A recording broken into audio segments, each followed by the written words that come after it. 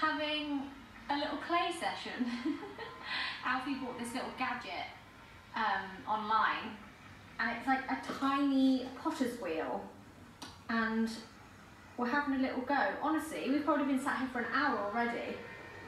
It's so therapeutic. I mean, neither of us have any clue what we're doing, but it's so much fun. I think that's why it's fun. Yeah. Very seriously. And also, like, it's quite experimental. Like, you're not trying to create a specific thing. So, this was Alfie's first attempt. Oops. Which didn't go so well. This was mine, my little pot that I made.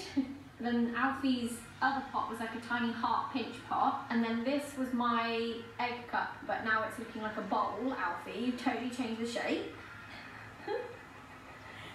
get this gadget you online. Control the speed here. Yeah.